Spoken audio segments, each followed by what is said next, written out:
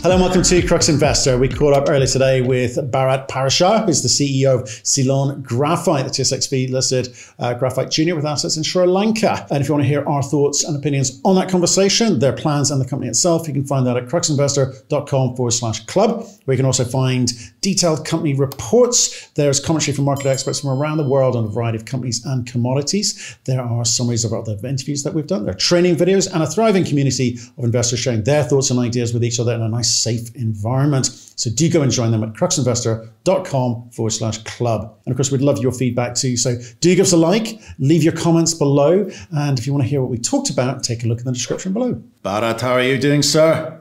Good morning. We're doing well here. It's a little, uh, uh, you know, the COVID and all that in California, it's a bit strange, but uh, we'll survive. I'm sure you will. Not a bad place in the world to be hanging out, I'm sure. I'm sure. Um, so, so uh, we we've met before. We, we met a couple of years ago on with this story, and we met a couple of years before that, maybe 18 months so before that with an oil and gas story. So we've got we've got some history. That's right.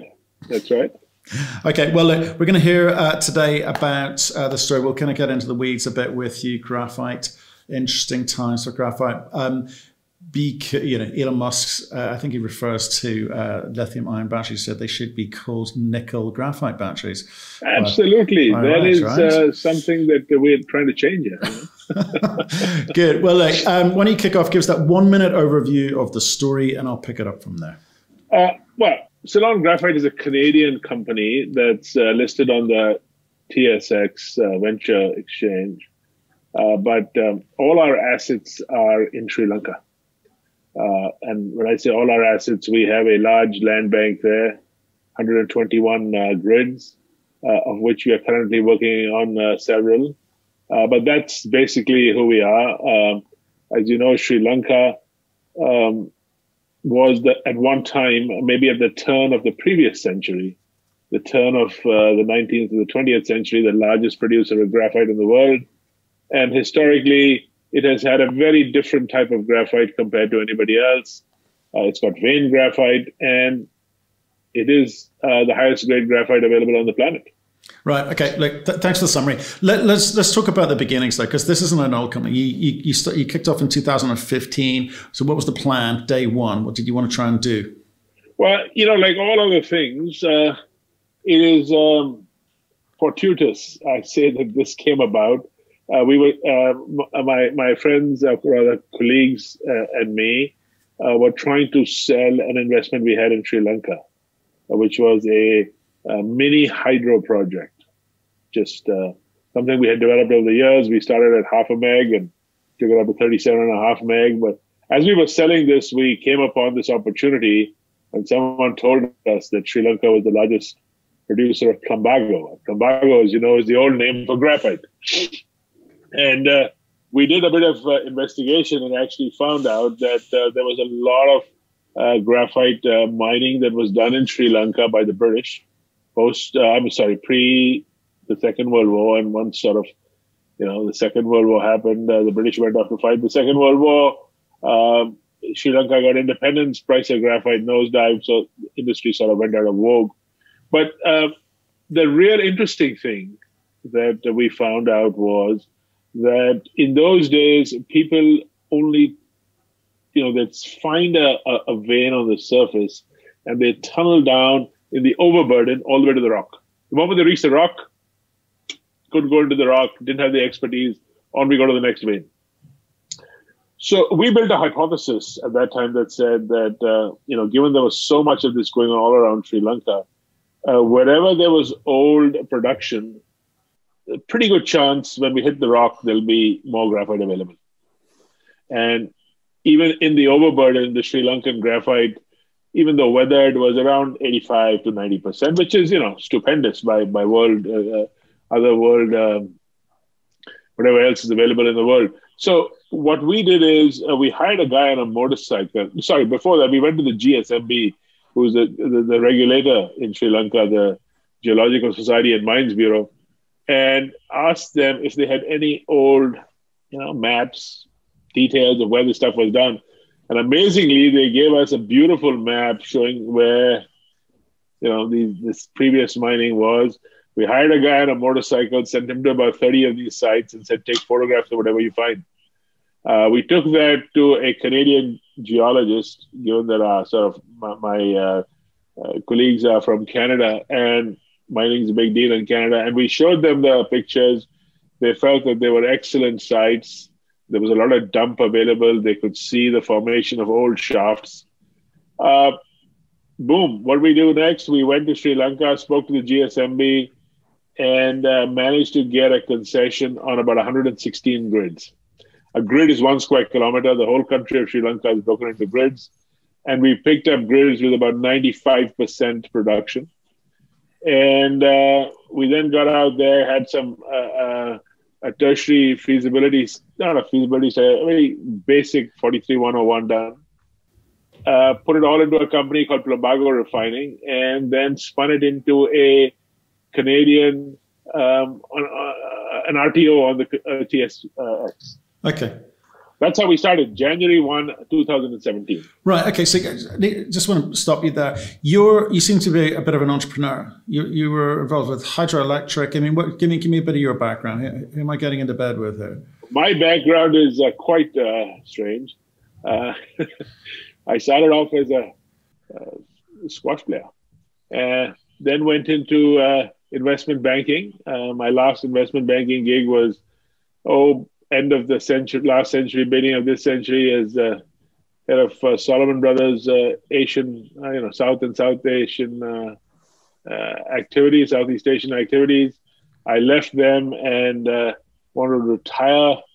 I hadn't seen my children, but I got brought in by a company called the Emerging Markets Partnership to help out with the private equity business in Asia uh, ran a company called uh, EMP Daiwa, which was uh, uh, a joint venture with EMP uh, between EMP and the Daiwa Securities of Japan to build a private equity business in Asia. And, and then sort of went into my own investing, dibbling and dabbling, did a few projects here and there.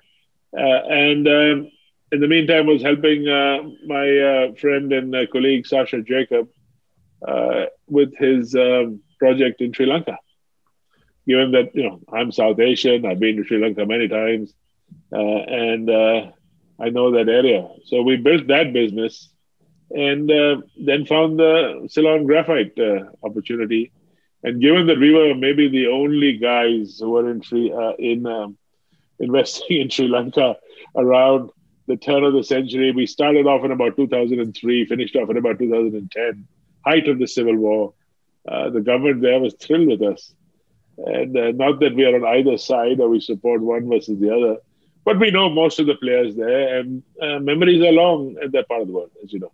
Yeah, absolutely. Yeah, I forgot about this. The, the was it the Tamil Tigers? Is that is that I'm getting it right? That's right. That's right. right. Yes. But is everything everything has calmed down there? Both. Uh, yes, that's all over. I mean, every country has its own issues. I don't, you know, a year ago, a year and a half ago, we had the horrible.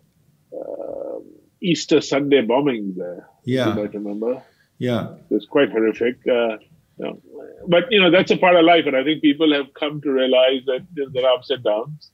They've got a new president now uh, who's doing a great job, I think, uh, and uh, making life much easier for people like me. Uh, and uh, you know, I think things will improve. Then we've unfortunately now got this other problem, which is a is a global problem, but you know that too will pass.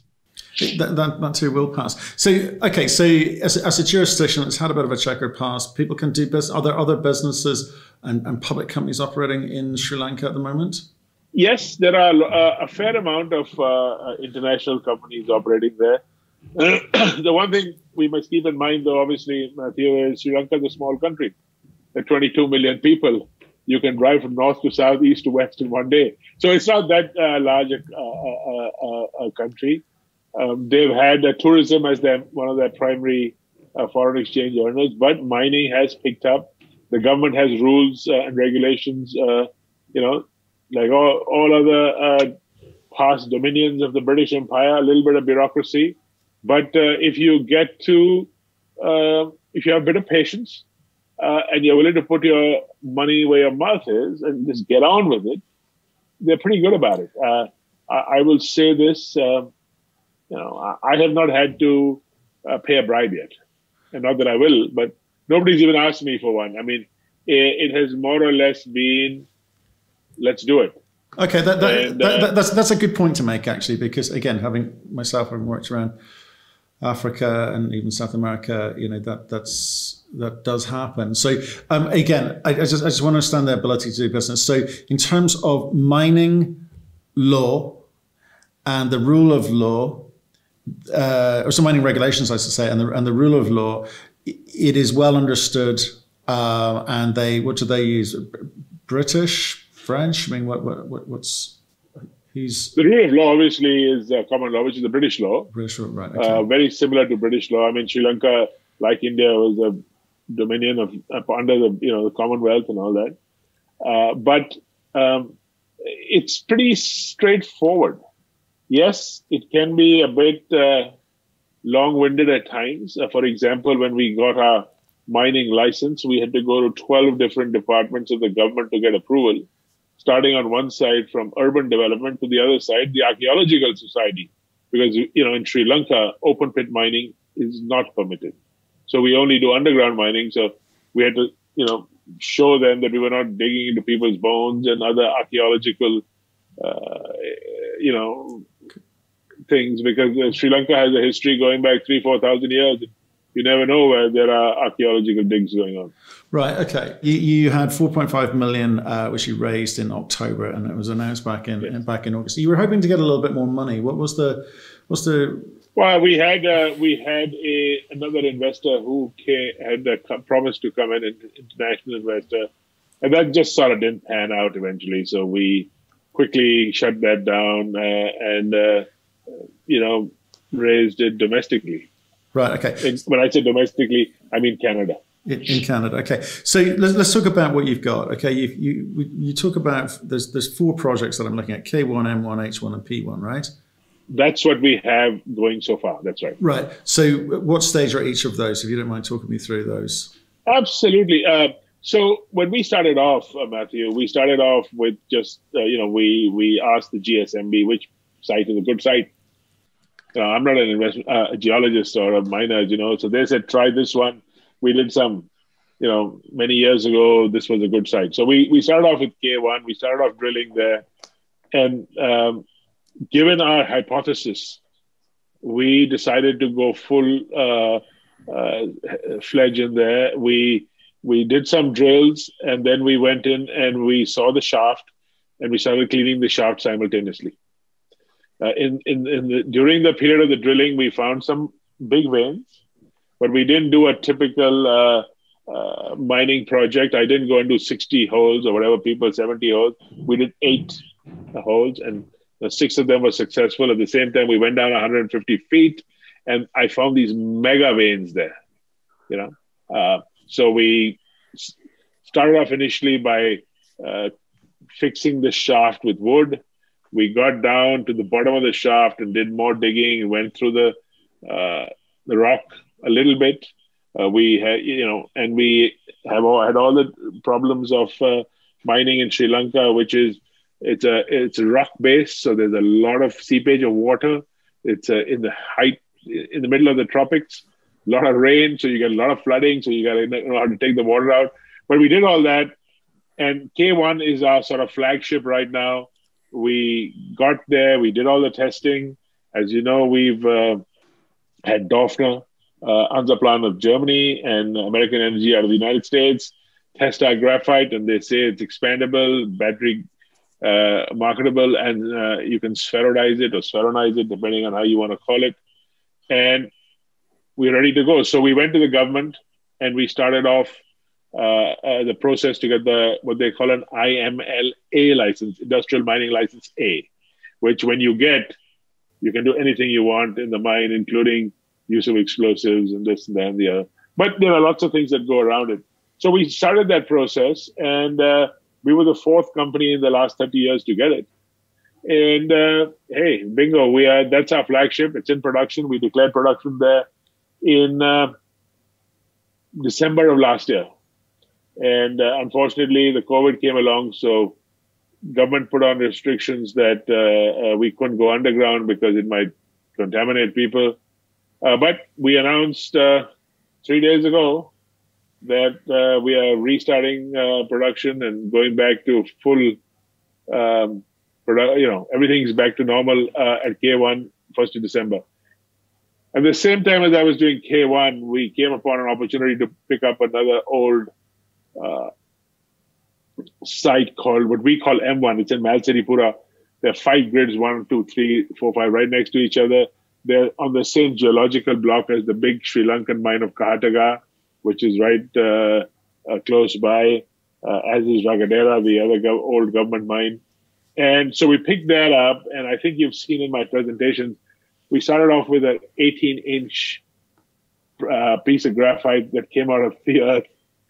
And I had nothing to do there one day, so I told the, my mine manager, just let's wash this and make it look nice so I can take a photograph, right? You know, got to be a bit of PR here. And when we cleaned it, we found a 10 foot vein on surface. Never has anybody ever found something like this. So we immediately started work there. We did a res- resistivity study, uh, and um, we've now gone up to a stage where we've got a hundred foot shaft. We've gone down again on my presentation. There are uh, pictures of me down there at 100 feet with my arms spread out, and I'm a big guy, six foot two. My wingspan's about six six, and the size of this vein is huge. So those are the two major sites. Uh, we start uh, with all this. So we've got different things going on on those two sites. The next thing to do at uh, M1 is get the IMLA. That process started three days ago. I'm hoping to get it by April. Fingers crossed. You know, things will move now. Uh, they found maybe some signs of a vaccine, and we're going to go for that. At the same time, given we have exploration licenses on all the other sites, we can do some work on them. Uh, and we started off with H1. H1 is close by to K1, as is P1. Uh, and uh, we've started some drilling there. And we had started initially going down into the shaft, you know, following our own uh, hypotheses. And we found this three and a half foot vein. Now, I understand that people will say that graphite, vein graphite bulbs and pinches, you know, gets big and small, big and small as it goes down to the earth. Fine. We have no problem with that, but we want to get down there to the bottom of the shaft, hit the rock, and then start our work. Till then, we just pick out the stuff and throw it away. So that's where we are on these four sites. Uh, the biggest issue for me, obviously, that is getting, you know, I, I've got so many sites I can go after, but not in my lifetime will I finish them. So I want to pick about 10 good sites. We've got about six, seven more yeah, that we've had some preliminary geological work done on. I've got a team of geologists in Sri Lanka who are out there all the time uh, looking. And when the money comes in, I can start them off. The beauty of what we bring to the table, Matthew, is we can build a mine in quick time. I think we're the fastest in the world. It takes me about two, two and a half years to start producing in a mine. Plus, it costs us nothing. I, I can I did K1 and we'll do M1, each mine for around two, two and a half million dollars. Up to production start. I'm not saying into the future, but up to production start. Uh, K1, 150 feet shaft, M1 about 120, and I'm going to add it, uh, bring in and add it from the side of the hill. So if I can get some capital, put up 10 mines, they say, my geologists on a conservative day say 500, uh, say, you know, 500 tons a month, four to 500 tons a month. So about 5,000 tons per annum. Uh, you know. So if we can do 10 mines, we're at 50,000 tons in say five years. Right. Okay. So that's the plan. That's the plan. Okay. It's a it's a plan. It's a bit generic at the moment. Okay, because you've got obviously K1. You've done a lot of work on. M1, you're gonna do a lot of work on, and then you've got the. No, no, we've already done. We just have a little bit left to do. That's what I mean. But you've got you you've got to work out what you're you're going to do, how you're going to be able to to mine it, how, how you spend. Because I'm trying to I'm trying to put this in the in the context of like conventional mining, right? Normally people kind of go through scoping studies and of, of various levels uh, of economic studies through to the point where they can understand what it is that they're looking at, not not what some geologists say, but how do you, how do you get to the point where you can talk to the market and say, do you know what? Not only have we got high grade, we know we've got high grade.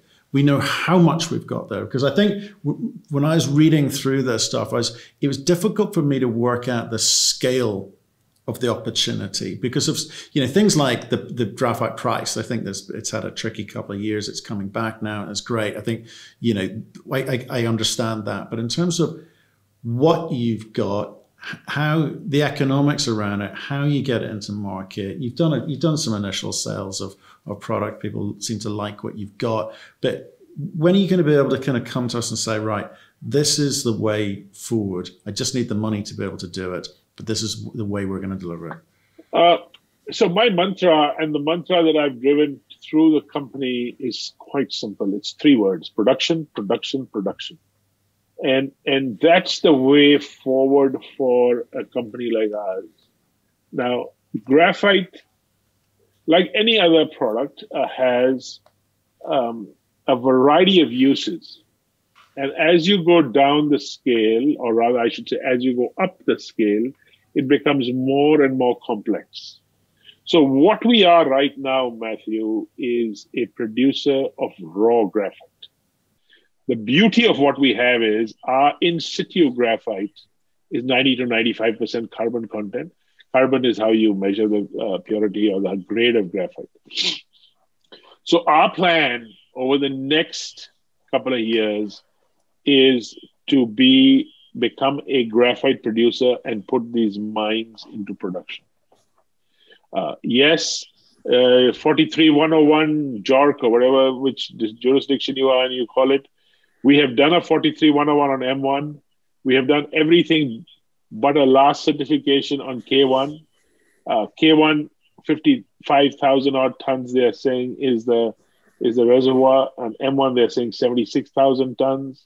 Uh, you know, could be three times that, uh, given the fact that the two producing mines in Sri Lanka, Kahatagaha and Bogala, been in operation over 150 years, down to 2,500 feet. You know, we're at 150 feet. Uh, it, it's it's like an oil well. Nobody knows how much there is in there. It's estimation. But you know, having said all that, I take your point. Uh, our whole uh, basis and theory is we do uh, um, we will do some. Obviously, we are not going to go into a mine, and you can't do a mine without doing some drilling. Uh, you have to do some drilling to be able to to to just tell yourself, yes, there is a to be able to certify that there is some graphite down there and how far it's going to go and how thick the intercepts are or how wide they are. Uh, we are also uh, we've got senior geologists looking at it. We will do the so-called basic 43 101 if we have to. It is not something that we start off with. We're not going to do a feasibility study. My view is simply once I can certify reserves, I know how much it costs me, and I can see the, the veins, I'm just going to start producing. And I think in three years, looking at even my you know most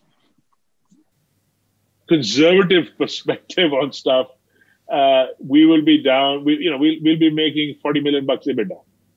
Now, everyone's going to say, "Oh, price of graphite is the, is not doing too well."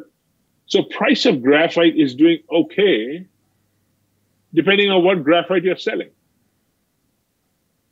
We are selling high grade graphite. Sri Lankan graphite, through the travails of the Chinese uh, flooding the market and everything else, has stayed at around $2,000 a ton. You know, compared to the graphite that comes out of other places, which has been seven, 800 up to about 1500, depending on the mesh. Mesh is the size of the flake. Uh, but I think one has to look at graphite, Matthew, more in the next stage. And we are starting that process already as to what are we going to do when we grow up?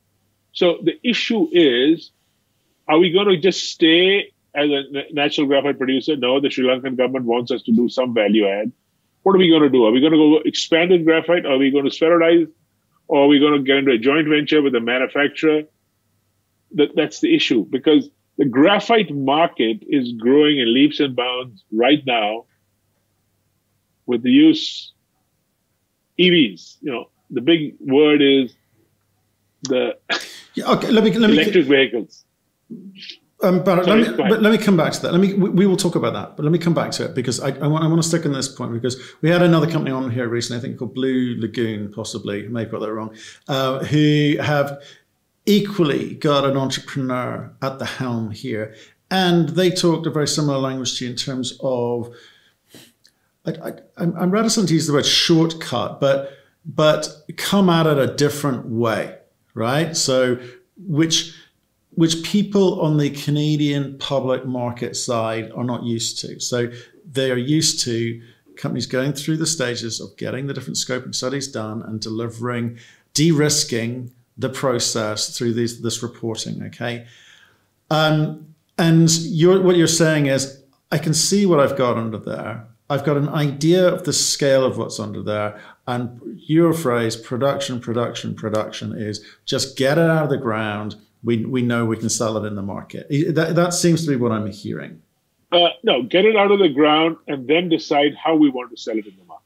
Okay, fair enough. That, fair, fair, fair point. But, you, but, the, but the point is, in terms of the de-risking of the underground component, uh, you're you're not going to go about it in a conventional way, and that will save you. For two reasons. For one, Please. one primary reason, Matthew, yeah. is I have I'm in equity we're using, we do a mine in two, two and a half million dollars. We don't use five, six hundred million. We don't have feasibility studies that cost you several million dollars. We use, each mine is $2 million. There's no debt component.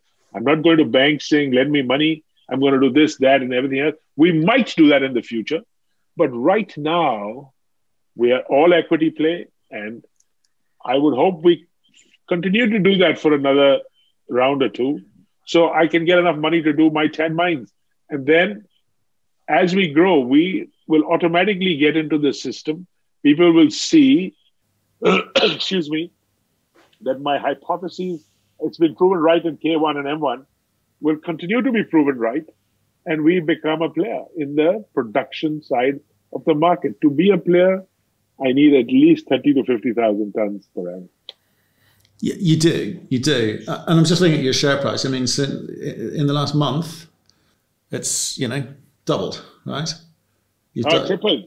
We we did tripled. the deal at eight cents. Okay, eight and three quarters. I, I don't know what we are this morning. I've been talking to you, but uh, yesterday okay. we closed at 26 and a half. Yeah, about 26. Okay, we so, went as high as 30. Yeah. So people said, okay, I, um, I like the fact they've been able to go and get some money, and I like what I'm hearing about what they're going to do with that money because it's not going to cost a lot to get the mine moving, get it producing, right? So that's is that what you you think the market's told you with that reaction in the share price? Uh, market has told me many things. Obviously, the most important thing they told me is you're in production. Uh, there's nobody else, right? Uh, Syra or Syrah, I don't, I'm not quite sure how they pronounce it, did come in. Uh, produced a lot, no question about it. But they also spent some six hundred million dollars. You know, I, I till prior to this financing, we had six and a half million Canadian, and the four and a half million bucks we raised was Canadian too. It's about three and a half US. So we have done this with a tight, tight, tight ship, and we've shown the results. Uh, we're the cheapest, and, and people have acknowledged you're the cheapest and quickest the big weakness in the system is obviously what are you going to do when you grow up and all these numbers that I'm spouting? Uh, is the market going to hold? Given the fact that the battery market prices have dropped and you know things are. Okay, uh, know, so so so, so, so let's right. Okay, so let's say so people certain people will like that story and certain people won't like that story in terms of their risk appetite okay? And they certain people will like the fact that you're doing low low cost entry uh, and other people won't. And that, and that's fine. That's the nature of the market. Let's let's talk about where you think you sell this because you know we talked at the beginning about you know the the lithium ion batteries. You know nickel and graphite are the biggest biggest volume by, by volume are the biggest uh, commodities in, in the batteries. And that again has sort of the, the, the market for lithium ion batteries has struggled a bit as you know, COVID's hit. Um, you know, people weren't jumping on board. The governments weren't, you know, giving these subsidies. Uh, we haven't sort of seen things like carbon taxes really kind of take a hold yet. But the signs are there. The signs are there. It, it, it will come. So what sorts of conversations are you having? Because I noticed you sold some product at the beginning of the year into uh, Singapore and also Korea. But you know, what are the markets you're going for? What are the companies that you're talking to? So uh, it all depends on what we want to sell, and that's a very big decision that we have to take very shortly. So there, if you if you bear with me for a second, so gra- when graphite started, people started looking at graphite post the pencils and started saying, "Oh, where can we use this?" They started with the battery, right? Why? Because graphite is the best conductor of heat, and it has a great capacity to to to have electricity and energy pass through it and be able to conserve some. That's why, you know, your anode and your cathode and your battery and everything else. So they started off with the old ever-ready, as you might call it, a Duracell battery, which still produces graphite.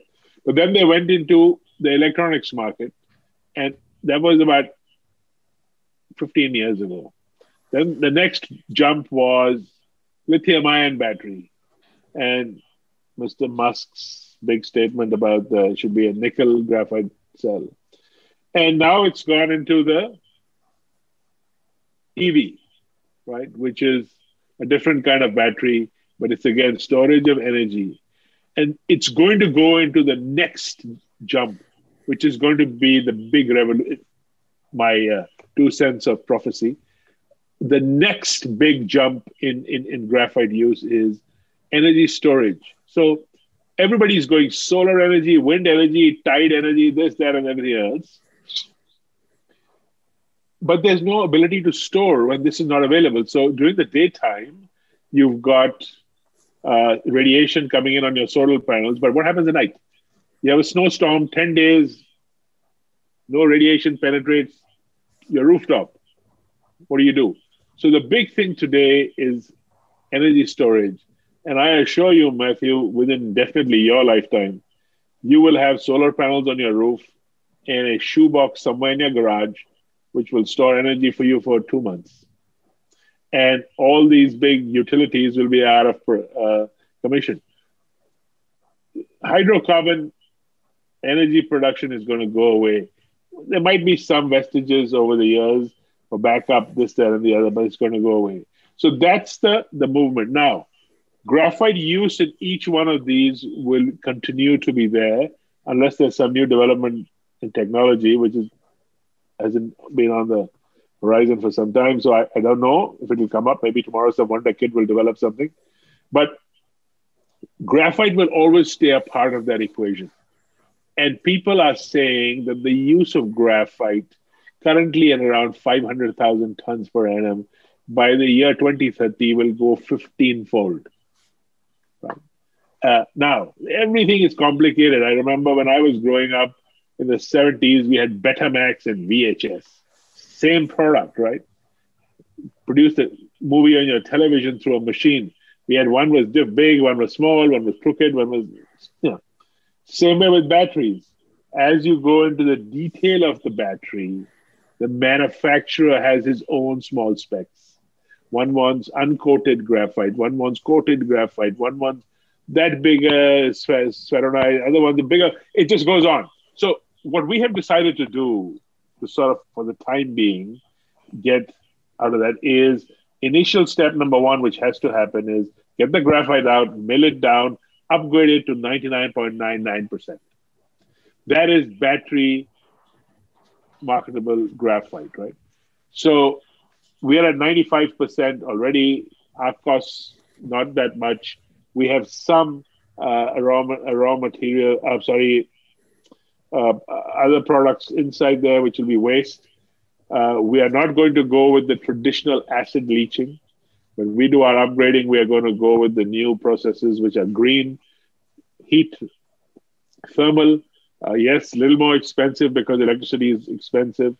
unless we build our own uh, electricity generating capacity to be small. But that is the product we are talking to various vendors about. So we've talked to the Japanese uh, and the Koreans. I'm, and I'm breaking my discussion into two parts here.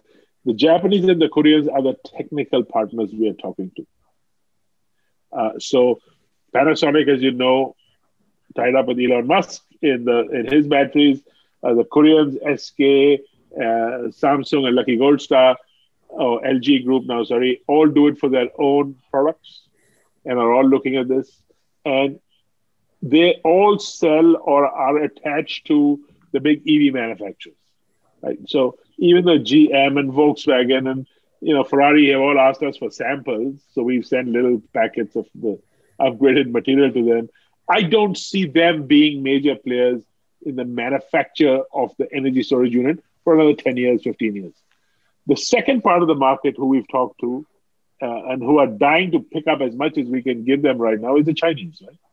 So they have substandard product. They used to be a net exporter of graphite.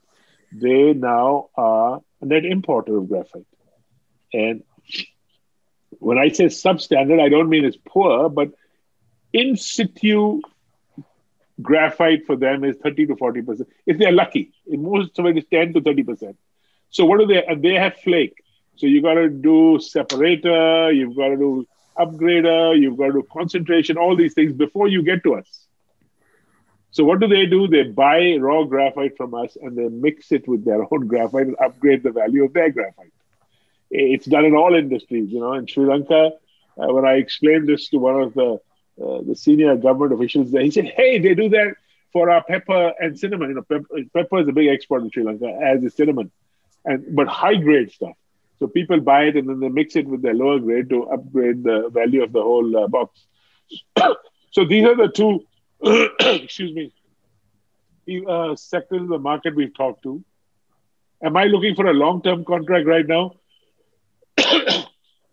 Possibly. I know most uh, mining companies, going back to your historical model, will want, oh, long-term contract, get financing based on that. For me, that's you know, it doesn't matter. I'm not looking for $100 million. But if I get a long term contract, it ties me down to my future plan. So I'd rather do short term sales to people. But I have great desire to be able to set up a joint venture with, say, one of the Japanese or Korean producers of the high end stuff, whereby I'll supply them the, the graphite and we can share in the value added product. So, question for you: Do you think when you're going about the process of raising capital in the future, you, are just going to do it all through equity in the market? You're not going to need to get strategic investors in because you don't need a lot of capital, right? Um, and, and, and is that how is that is that the plan? Sorry, just well, uh, look, finance 101. Debt is cheaper than equity. Now, my plan though is for the next year or so as we grow our base to definitely stick to equity. But unless we get a debt deal from somebody that is so advantageous that we can use it, right? But going forward, when we start developing the upgrade, the levels of value add in our business, we're going to need some debt. You are, but, but, but to do that, you're also going to need to show them that there are long term contracts in play. You're talking about short term contracts, right? Uh, no, no, no, no. Sorry, maybe I misspoke there. I'm talking about shorter term contracts right now in my current phase. But once we go into the upgraded, the plan is to go with somebody like if, if God came to me and said, What do you want? I'd say, say JV with Panasonic. I, you know, then, then Panasonic uh, is there as the long term buyer of the product. Right. Okay. Understood. Thanks. Thanks for clearing that up. Just want to be crystal clear about what the plan is. So it, it scans to me, the optics are it's quite entrepreneurial approach. You, you're trying to spend the least amount of money to get into production as quickly as possible, um, and you feel that you you can do that as you've laid out today. Are you getting any pushback? Certainly, when you were going and doing the fundraising, were you getting any pushback on your business plan? Uh, the biggest pushback we've got, Matthew, and uh, you know, it started uh, at that conference where we met uh, in London uh, in November of what was it, 19. was people don't believe 18. that this is 18. That's how old 18, we are. Yeah, 18. Yeah. yeah. Oh, that just 18. happened. uh, people don't believe that this is possible. Oh, you're bullshitting me, is the standard answer. Uh, you don't have this kind of fancy product. It doesn't cost so little uh, because in Canada, to put a mine in costs $100 million. You need to do, as you say, a PEA and a bankable feasibility study and this and, uh, and everything else. And, and, when we, the reason I, I'm trying to do a lot of this, uh, like talking to people like you, is to educate my existing investors and potential investors that we are a different kettle of fish here. We are not the standard run of the mill stuff. You know, heavy rock, huge one mine operation. We are multiple small mines. We are cheap to build and put in. So if we run out of a, a, a resource in 20 years, so be it. We'll put another one in. We've got 121 sites. And I'm consistently trying to change these sites based on, so if I have a bad site, I go back to the GSMB and I give it back to them and I get another site replace it, which we think is as good as something that we else we have. So you continue that process.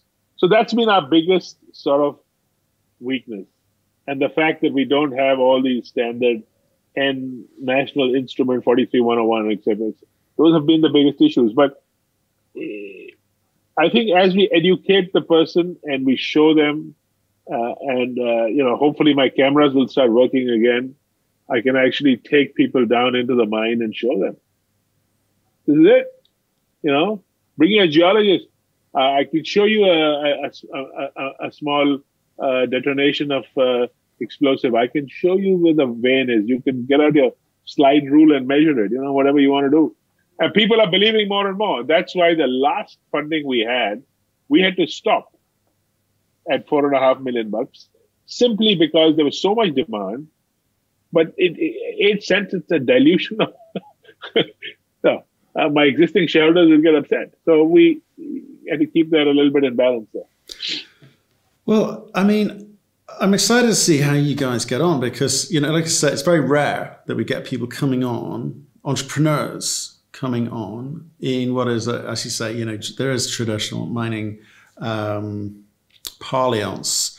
Um, so I'm interested to see how you get on. You just started again on K1 and M1 and M1. And so what? So what should people be looking out for next? What's what are you going to come back and tell us? Well, I'm. Uh, what I'd like to come back to you next with is early next month. Uh, say, you know, we've taken X out of the ground. And uh, by, you know, we've talked to so and so and they want to sign an MOU with you. And hopefully by April, I've got my MLA license for uh, IMLA for M1. And, you know, we're at full stream. And it is my plan uh, that by June we start one more site. Okay. And so again, just give me a sense of okay, you've got K1 and M1 going. You're you're producing, you're taking stuff out of the ground in what sort of quantities, and what are you getting for that? Are you are you so making my, money? I, am initially, uh, Matthew, going to start off at about 20 tons a month. By the end of the year, end of 2021, I'm hoping to have brought out about a thousand, thousand one hundred tons and be at around 200 tons uh, uh, a month at the K1 site and about 20, 25 tons a month for the M1 site. But by the end of year, let me see here, and I'll tell you, it's right here. So by the end of year three, so, so that'll be 2023, I should be at full capacity uh, at both K1 and M1. Right. And you know, other mines coming. It's, you know, it's underground mining, a little different than open pit. You can't expand the amount of rubble you pick up before you put it into the separator. But here we have to go down and takes a bit of time. Yeah. Uh, so the ramp up is a little slower. But once you get to the beauty of vein graphite is I can just take my chisel and hammer and bring out big pieces of this stuff. You saw the piece we had in London, the big 20 pound piece. That's the kind of stuff you can take out. You crush it, take it up, or take it up and crush it. You know, it's it, it, it's um, it's it's easier easily done. The other big issue, which I'm sure everybody's going to tell you when they give you feedback on this, is how do we compare to synthetic graphite? because the big competition is synthetic graphite to natural graphite. And the big argument that all these battery manufacturers have is synthetic graphite has consistency of grade versus you guys who can be here, there, and everywhere. But that is a bad example to give simply because when we upgrade, so if I have 90% one stone and 95% other stone crushed together, it doesn't become an average of 95%, 94%. When we upgrade it, it all becomes the same. So as long as my upgraded cost matches the cost of synthetic graphite, I'm okay. And right now, synthetic graphite is right up here, and we are down here. So it's got to come up. And we think that uh, uh, that will be more and more in our favor as it goes up. Because the higher it goes, the more margins we make. Okay. Well, Bharat, like we so my average cost, mm-hmm. just to give you the coup de grace here. Yep. My average cost of production right now at current levels underground is around 200 to 250 dollars a ton, unmatched. Which you're selling for what? 2000. 2000. Okay, there you go. There you go. There's there's the there's the moment. As raw graphite. Yeah. well, but we better leave it there because we, we, we've uh, probably used up a lot a lot more time than um, I, I think I told you at the beginning here. Thank you so much for coming on and talking about it. Come back and tell us again how you're getting on. I'm, I'm intrigued to sort of see the progression and the speed of progression um, here. Uh, we'll be delighted to take your phone call, sir. Be delighted to come back and thank you very much, Matthew. Good catching up with you.